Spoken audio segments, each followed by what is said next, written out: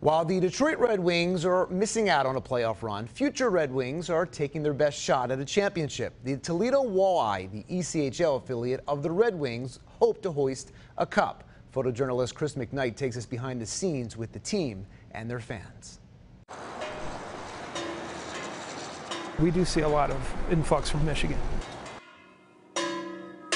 being right on the Ohio-Michigan line, a lot of players with Michigan backgrounds, uh, either played in, in the state of Michigan or maybe from Michigan. It's convenient, it's easy, it's affordable. A lot of Michiganders on our team, um, so I mean they they travel travel probably hour, hour and a half, two hours away just to come to games all the time. It's only a few hours away. The Red Wings are affiliated with uh, Toledo, so yeah, I watch uh, the boys from that played in Grand Rapids this year. There's a bunch of them got sent down uh, from Grand Rapids to help out and play in the playoffs.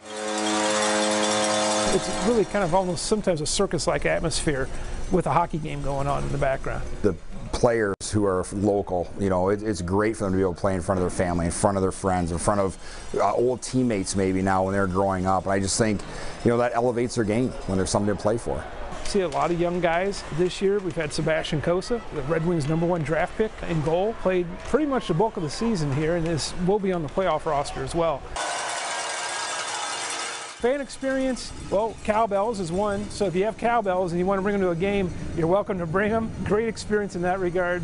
And it's a fan support to come out and you're a young player here to be able to play in front of seven, 8,000 people on a given night. It's infectious. You know, it goes down the bench. They hear the crowd. The guys get into it. And it's certainly, uh, certainly a pleasure to play in front of.